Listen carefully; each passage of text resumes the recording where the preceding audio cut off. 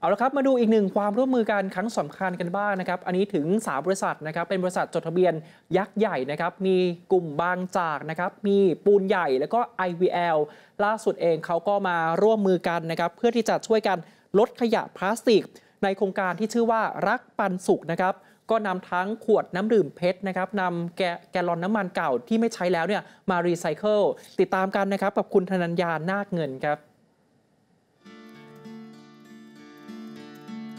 ขณะนี้วิกฤตขยะพลาสติกส่งผลกระทบต่อมนุษย์และสิ่งแวดล้อมอย่างรุนแรง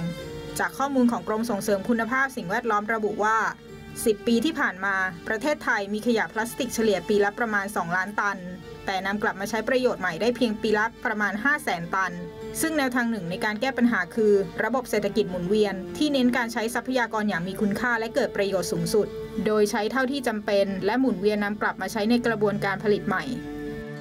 ประธานเจ้าหน้าที่บริหารและกรรมการผู้จัดการใหญ่บมจบางจากคอร์ปอเรชั่นชัยวัฒน์โควาวิสารัตบอกว่า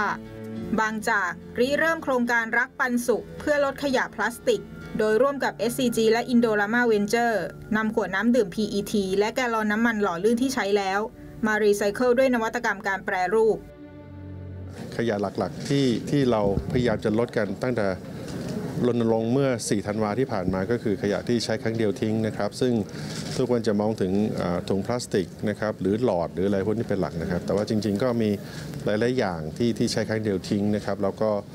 โดยที่ตัวแพคเกจจิ้งนั้นเนี่ยทำมาจากพลาสติกนะครับ ซึ่งการกำจัดเนี่ยอาจจะต้องใช้เวลานานพอสมควรนะครับ แต่ละคนก็มีความเชี่ยวชาญแตกต่างกันนะครับ ผมว่า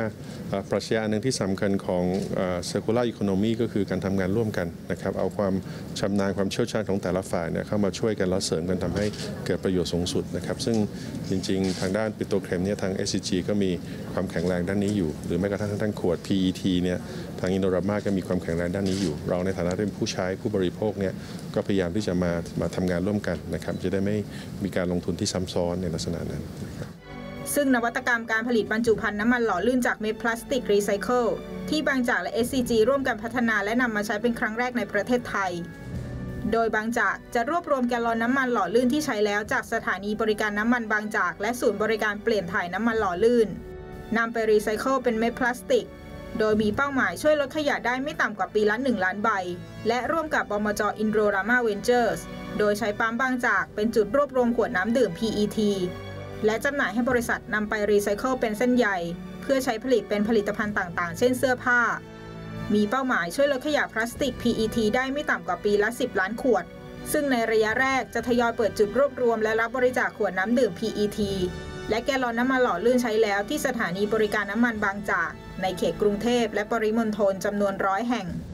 โดยรายได้จากโครงการจะนำไปมอบให้องค์กรสาธารณประโยชน์ จากกริศิวารินถ่ายภาพธนัญญานาคเงินเนชั่นทีวี รายงาน